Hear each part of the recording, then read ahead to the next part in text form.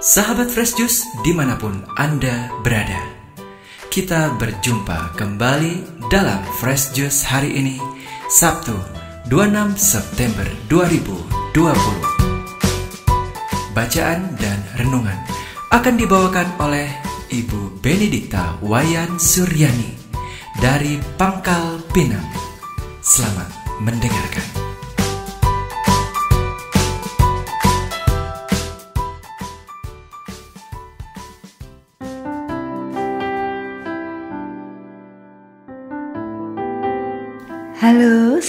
pagi para sahabat Fresh Juice yang terkasih. Bersyukur sekali saya boleh menemani kembali sahabat sekalian hari ini Sabtu 26 September 2020. Para sahabat, hari ini kita akan mendengarkan dan merenungkan Injil Tuhan yang diambil dari Injil Lukas bab 9 ayat 43b sampai dengan 45.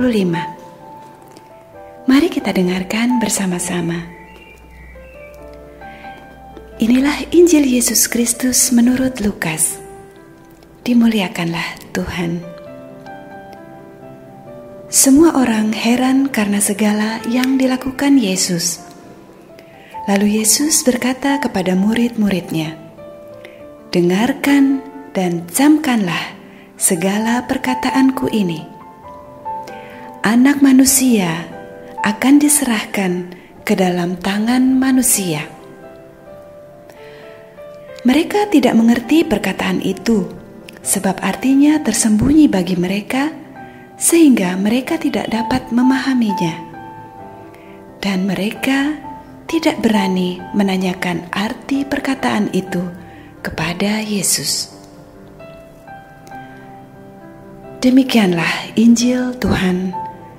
Terpujilah Kristus.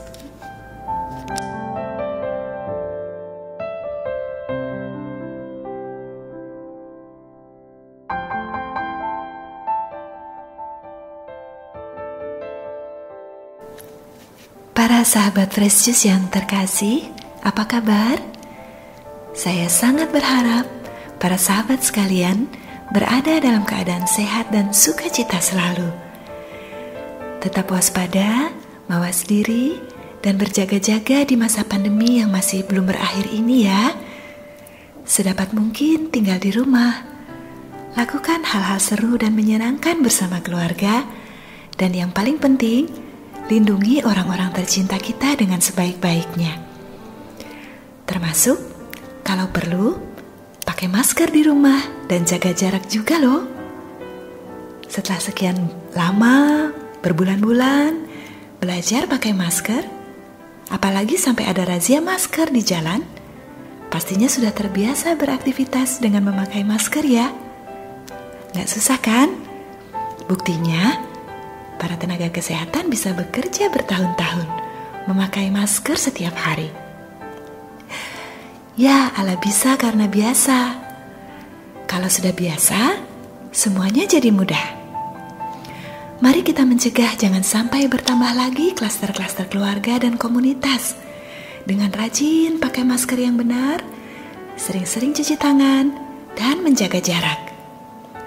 Semoga kita semuanya boleh melalui pandemi ini dengan selamat, sehat, dan tetap sukacita.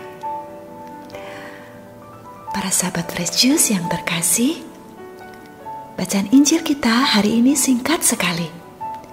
Tidak banyak yang disampaikan, namun pesannya sangat penting untuk kita resapi.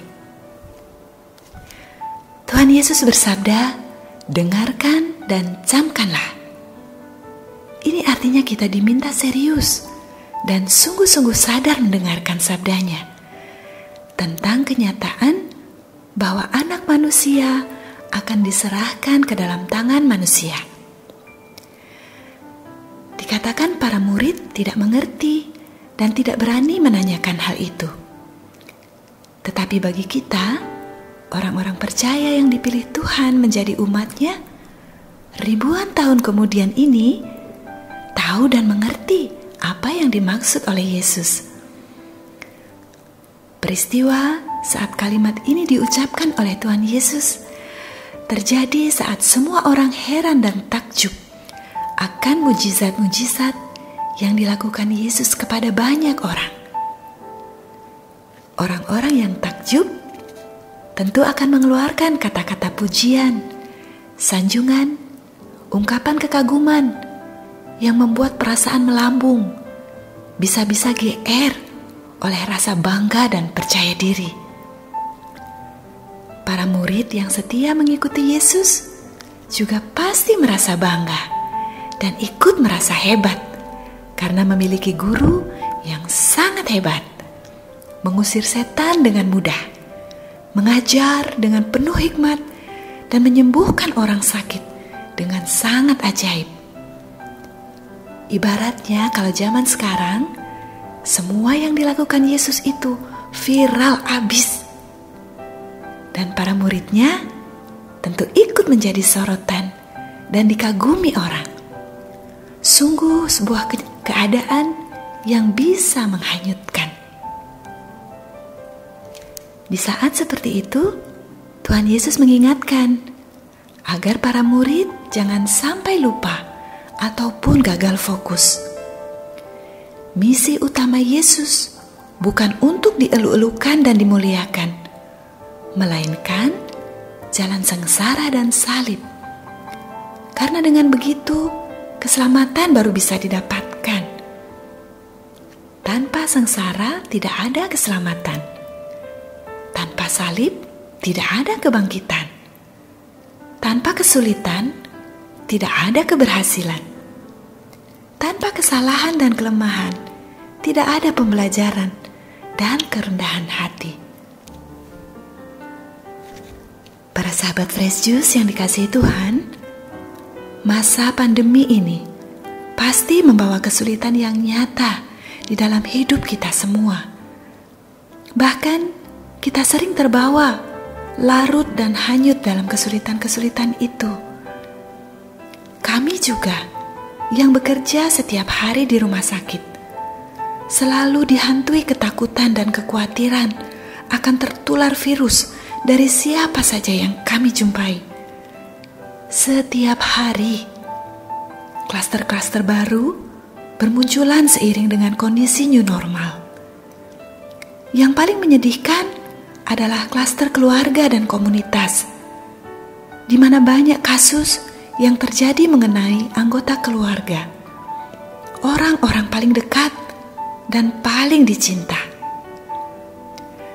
Saya pribadi sering gelisah, bahkan dihantui ketakutan Jangan sampai saya membawa penyakit kepada anggota keluarga yang ada di rumah. Bukankah kita selalu merasa aman di rumah dan hampir tidak pernah pakai masker jika sudah sampai di rumah? Di luar rumah, kita patuh protokol dan berhati-hati, tetapi sampai di rumah, kita merasa bebas dan merdeka. Saya beberapa kali hanyut dengan pikiran-pikiran buruk Bagaimana kalau sampai terjadi hal yang fatal? Orang-orang terkasih atau saya sampai sakit dan menjadi parah. Apalagi berita-berita di grup WhatsApp kami para nakes. Hampir tiap hari. Aduh, rasanya dunia suram dan gelap, mencekam dan penuh ketakutan. Para sahabat terkasih, sabda Tuhan yang singkat hari ini bagi saya pribadi sungguh meneguhkan. Kita diminta untuk selalu ingat, eling akan Tuhan kita yang sudah mengalami penderitaan dengan rela. Tuhan kita dekat, Dia sungguh-sungguh mengalami segala penderitaan. Semuanya sudah Tuhan lalui.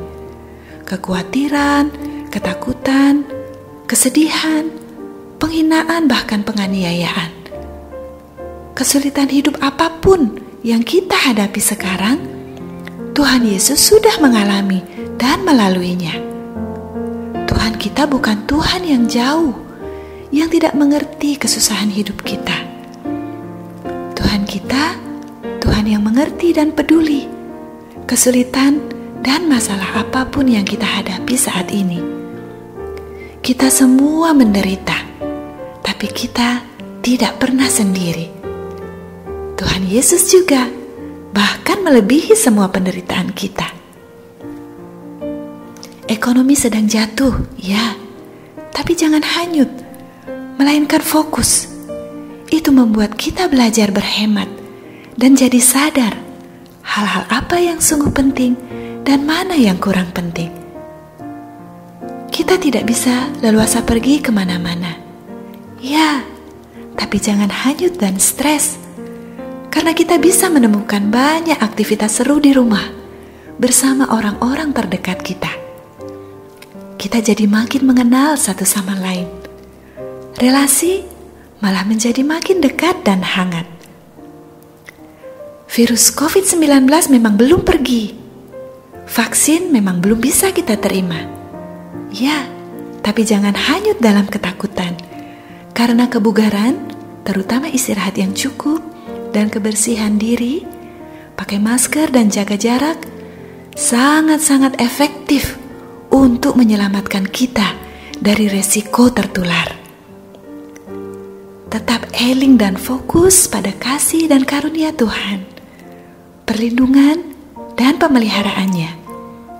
Tuhan sudah lebih dulu mengalami segala macam kesulitan hidup, dan sampai kapan pun Dia setia menemani dan menjaga kita.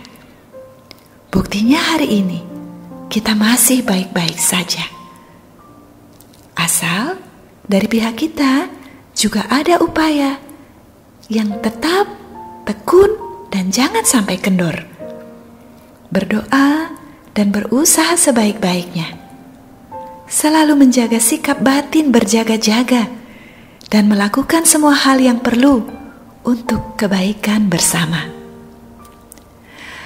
Semoga Tuhan selalu menjaga kita, melindungi kita dan semua orang yang kita kasihi, mengingatkan kita untuk selalu berpusat kepadanya, bekerja dengan waspada, dan menghantar kita kepada keselamatan dan damai sukacita, menjadi anak-anaknya yang hidup berbuah tetap dalam kelimpahan dan kasih. Amin. Kemuliaan kepada Bapa dan Putra dan Roh Kudus, seperti pada permulaan, sekarang, selalu, dan sepanjang segala abad. Amin. Sahabat Fresh Juice, kita baru saja mendengarkan Fresh Juice Sabtu 26 September 2020. Segenap tim Fresh Juice mengucapkan terima kasih kepada Ibu Benedikta Wayan Suryani untuk renungannya pada hari ini.